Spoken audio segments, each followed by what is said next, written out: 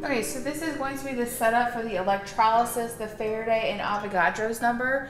Um, so what I have measured out already is 50 milliliters of um, sulfuric acid in this graduated cylinder here. I also have 100 milliliters of water in uh, another graduated cylinder. So I'm gonna put that into our beaker. And then I'm going to carefully put in the acid we have this dilute solution of sulfuric acid now. Uh, I'm going to stir that up a little bit. And then I'm going to insert uh, a stripped wire into our gas measuring tube. So we have kind of a makeshift gas measuring tube. It is a burette. We're going to use it upside down um, as our gas measuring tube. It's not going to be perfect, um, but it will work to collect the gas, that hydrogen gas that you're going to make. So I think that's good. So I have the stripped wire here, so I'm going to uh, fit it into my burette. And then I'm going to lower that into the beaker. Okay, so that burette, that wire is inserted into our burette. And then we're going to, we lower that into our dilute um, sulfuric acid. And then what I want to do is I want to fill our burette with this solution, this acid solution. So I'm going to use this bulb and the burette um, to full, fill that up.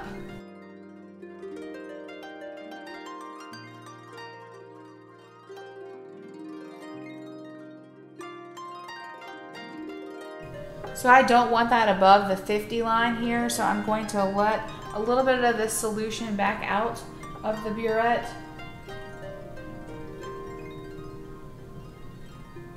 And again, this is not going to be completely accurate because we are using a burette that's upside down rather than an actual gas measuring tube. Um, but there we've pulled the solution up into our burette.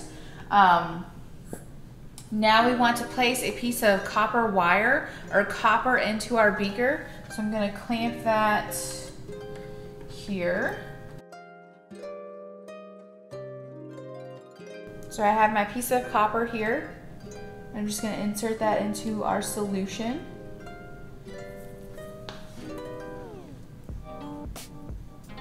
Um, so we can record the initial volume on your report sheet. So our initial volume here, uh, I have it exactly at the 50 mark. So we're going to say that our initial volume is exactly 50.0 milliliters.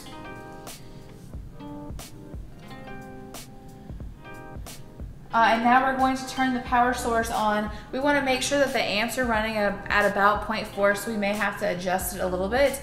And then we'll let this run and collect the hydrogen gas uh, for about 10 minutes. We have um, a thermometer in there. We also have our burette that is filled up with that dilute solution of sulfuric acid. We have a stripped wire that's inserted into the burette and then we also have a piece of copper that is in that um, beaker of solution. Okay, so I'm going to turn it on and we're going to time 10 minutes uh, and you'll see that the hydrogen gas is going to start collecting um, into our tube. Okay, so I'm gonna adjust this to about 0.4. Hey Siri, start a timer for 10 minutes. Okay, 10 minutes and counting. Okay, so now our amps are adjusted to 0.4 and hopefully you can see the bubbles that are starting to collect in our burette.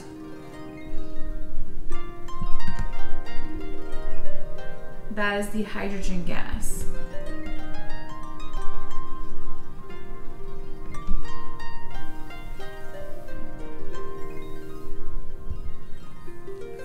So we'll let this run for 10 minutes.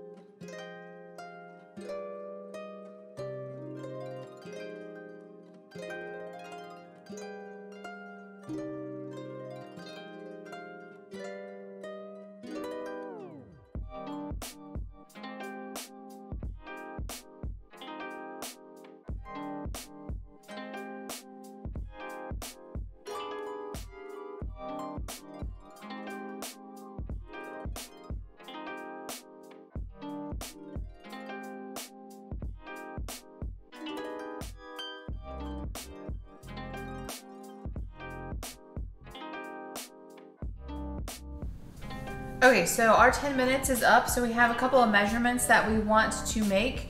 Um, so I've turned off our power, our power source here, and we're going to first measure the temperature of our solution. Um, so I have a thermometer in our solution to do that with. Okay, so the temperature of our solution here is 27.1 degrees Celsius.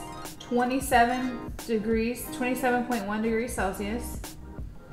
And then we also need to have the barometric pressure in the lab. So I have a barometer here, uh, and that barometric pressure um, is 745 millimeters of mercury. 745 millimeters of mercury. Um, we also want, I'm gonna move our thermometer out of the way. We also want to measure the height of the water in our column. Um, so this is going to be a little bit tricky um, because it is in that beaker, um, but we're just going to do the best that we can. Um, so I'm going to start it so that it's kind of even with my burette.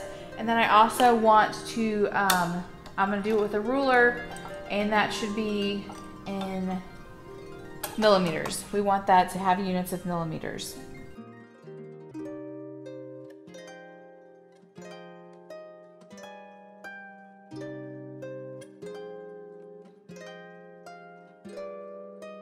Okay, so the height of our water and the water column is going to be 20, uh, this should be in milli, millimeters. Um, so it's going to be 276, 276 millimeters, 276.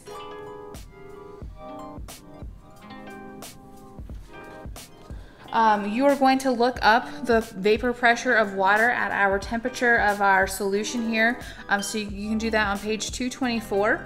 Um, I think that we have all of the information that we need to calculate um, our values. So the Faraday value as well as Avogadro's number. Oh, we need the final volume. Uh, sorry, that's pretty important. So we need the final volume in our burette.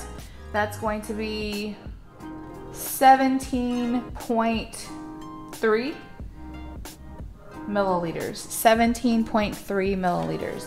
Now we should have everything um, that we need to calculate um, the experimental value of the Faraday as well as Avogadro's number. Um, but you can see that we have collected hydrogen in our tube. So that was that liquid was all the way to that 50 mark and now it's down close to that 17 mark there. Um, so all this space here is filled with hydrogen gas. So hydrogen gas is flammable, so you would want to be very careful with this. No open flames, no matches, no anything like that.